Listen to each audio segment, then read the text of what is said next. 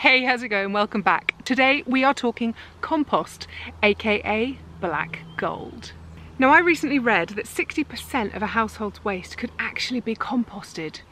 That's insane! We're sending all this stuff to landfill and yet we could be turning it into food for these guys. All you need to get started is obviously a compost bin. You can go and buy one for about 20 quid, one of the black plastic ones, or you can make your own out of wood or even old pallets. Stick it down the bottom of the garden and then throw in your kitchen scraps. Now you can add everything from potato peelings to carrot tops to broccoli stalks and apple cores.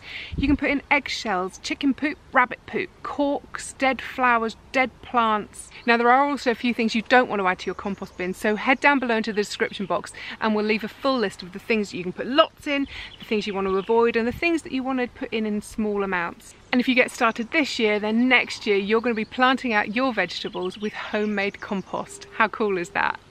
As always, if you've got any questions, then please hop over onto social and I'll see you there.